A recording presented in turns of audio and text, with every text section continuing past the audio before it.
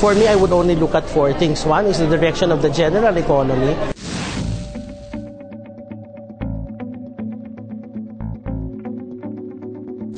Trend of inflation is basically you, if you want to pass on goods and services, syempre gusto mo yung average change in prices. That's inflation rate.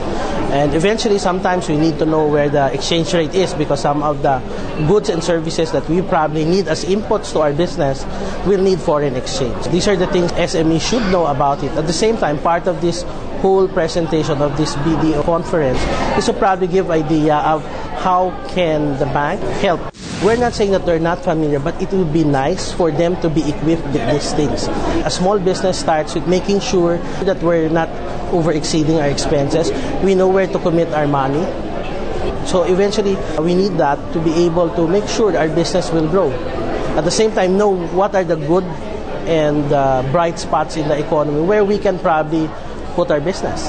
That would be the energy sector. We need to have generating jobs. So right now, it's the BPO sector. We have the agribusiness, which is very important to food security. Infrastructure, kailangan natin yan to attract investors. And of course, we need, right now, the real estate. Okay? These are the major ones. Yes. Most likely, ganon. No? Just like a call center. Uh, hiring call centers, you need to have, you have to feed them. Di ba?